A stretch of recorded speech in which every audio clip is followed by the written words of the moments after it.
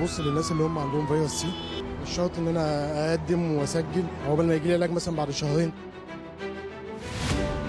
ما فيش إمكانيات ما فيش أجهزة ما فيش الات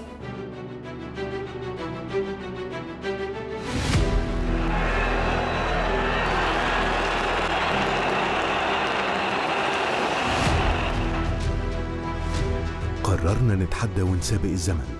من خلال العديد من المبادرات لسرعة حل المشكلات الصحية المتراكمة. ومنها مبادرة الرئيس 100 مليون صحة علشان يكون المصريين ب 100 مليون صحة. نقضي نهائيا على فيروس سي. وفي وقت قياسي تم مسح أكثر من 51 مليون مصري. تم علاج المصابين منهم فورا بالمجان. ده اللي دفع منظمة الصحة العالمية للإشادة بمصر في مجال علاج فيروس سي.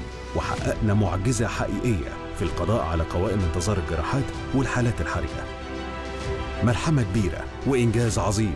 عملناه بتحدي وإرادة.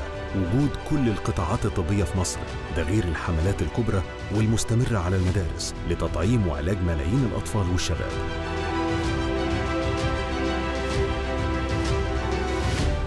وقدرت مصر تبني أكبر مدينة للدواء في الشرق الأوسط لتصبح مركز إقليمي وتحقق اكتفاء ذاتي من الدواء.